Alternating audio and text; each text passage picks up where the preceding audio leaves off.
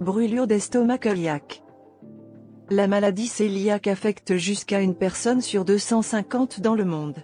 Ces personnes sont affligées de symptômes douloureux. Il y a la diarrhée, les douleurs abdominales et les nausées. D'autres souffrent d'anémie, de manque d'appétit et de retard de croissance. D'autres encore présentent des éruptions cutanées et des vomissements. Une personne qui présente l'un ou l'autre de ces symptômes est très probablement victime de la maladie cœliaque. Bien que le taux de diagnostic ne soit que de 1 sur 50, la maladie cœliaque touche jusqu'à une personne sur 250. Il s'agit d'une maladie génétique causée par une déficience du système immunitaire. Les brûlures d'estomac cœliaque sont l'un des symptômes de la maladie cœliaque. Quelles sont les causes des symptômes de la maladie cœliaque et des brûlures d'estomac cœliaque?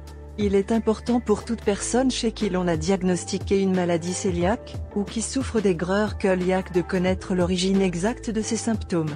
En se renseignant sur la maladie, elle peut prendre les mesures nécessaires pour prévenir l'apparition de ces terribles symptômes. Les symptômes de la maladie cœliaque et des brûlures d'estomac cœliaque sont causés par la consommation de gluten, que l'on trouve dans le blé, l'avoine et l'orge.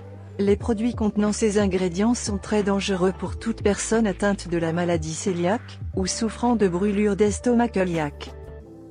Lorsqu'une personne atteinte de cette maladie consomme des produits contenant ces ingrédients, son système immunitaire réagit en attaquant l'intestin grêle. Cela empêche à son tour la circulation sanguine d'absorber des nutriments importants. Ainsi, de nombreuses personnes atteintes de la maladie cœliaque ou souffrant de brûlures d'estomac cœliaque souffrent de malnutrition ou d'une maladie liée à des carences nutritionnelles, comme l'anémie.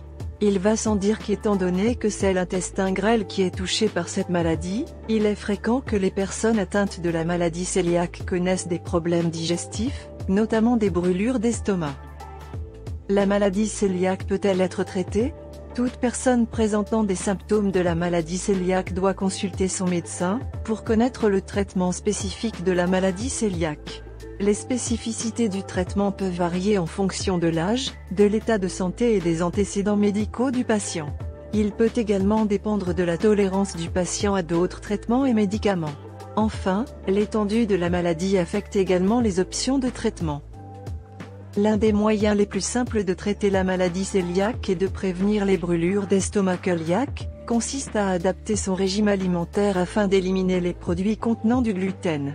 Cependant, d'autres méthodes de traitement sont disponibles, comme les médicaments et la thérapie.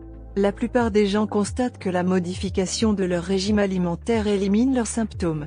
En fait, six mois après avoir modifié leur alimentation, on a constaté que l'intestin grêle était complètement guéri. Toute personne atteinte de la maladie cœliaque devrait faire l'effort de contrôler son alimentation avant de chercher un traitement médicamenteux. Si vous avez aimé la vidéo, donnez-lui un coup de pouce et n'oubliez pas de la partager avec vos amis. Si vous avez besoin d'aide pour mettre ces idées en pratique, n'hésitez pas à nous contacter ou à laisser un commentaire. Nous vous remercions beaucoup d'avoir regardé. Pour plus de conseils sur la nutrition, la santé et la beauté, veuillez vous abonner à notre chaîne.